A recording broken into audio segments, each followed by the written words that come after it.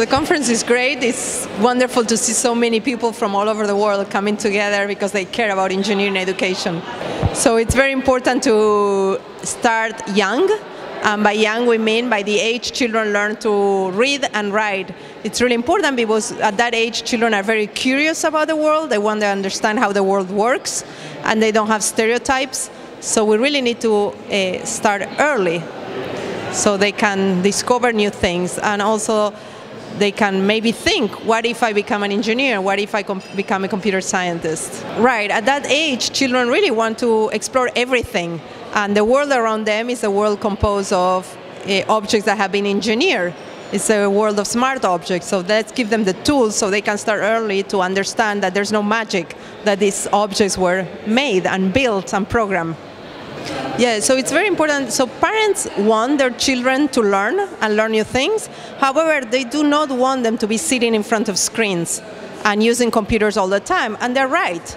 Developmentally, children at that age need to be playing, need to be creating, need to be interacting with others, need to be using their bodies. So if we could bring the experience of computer science and the experience of engineering with a playground approach, and children can be talking and interacting with others and learning how to collaborate and using their bodies, then that's, that's good.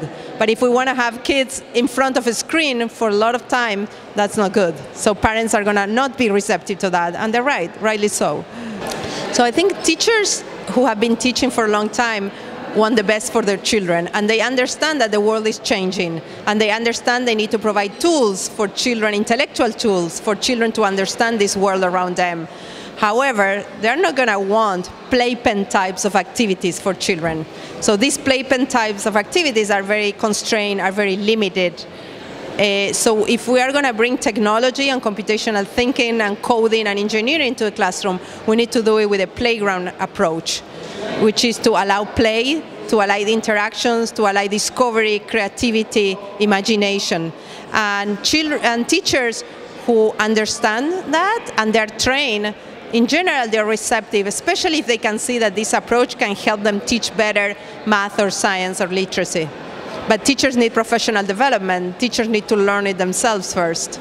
So we designed Kibo for every child, and we were not particularly focused on some specific populations. However, there are different experiences done around the world that have shown that Kibo could potentially be used for different populations. So for example, in Panama, we did a study uh, with a school for children with autistic spectrum disorder, and the teachers adapted the curriculum and adapted the technology that could be used with them. So again, it's not only about the technology, it's about the curriculum and the adaptations of that technology. So uh, for this particular age, again, I repeat again, when I see children in front of a computer screen for many hours, that's something I don't want. Uh, I think there is something that's not healthy, that's not natural. Children need to be playing, talking, interacting, running around, being outside. And so if they're going to be in front of a computer screen, they should be doing something creative and productive and content driven. But the same is true for reading a book. I don't want a child reading a book for four or five hours at a time. That would not be healthy. So it's the same thing for sitting in front of a computer screen. Any activity that you do for too long is not right. And therefore, that's why I particularly like activities such as Kibo, where the children can engage their whole body. And if they're going to be using things in a screen, for example, Scratch Junior, let's do it for a short amount of time. Let's not uh, forget that our job is to engage children in all kinds of learning. Uh, motor, physical, social. So coding as literacy and coding as playground, I believe it's really important to keep those frames of mind because once the technology comes, we forget about the why and the how of the technology. So if we keep a, an idea that at the end of the day, what we, our goal is to teach children to be fluent with technology so they can become active participants in society. That's what means literacy. And so they can become uh, playful in their approaches to learning. That's the coding as playful. That, that's a, a way to, to make sure we're doing things right in a developmentally appropriate way. Yeah, so this is a little bit more complex than just a questionnaire. Uh, what we look is at children's learning over time, and so we look at their process. So, and maybe it takes time. It doesn't matter if it's fast or slow. It's important that it's done right. And so, what we look is at the building blocks that they are forming in their heads.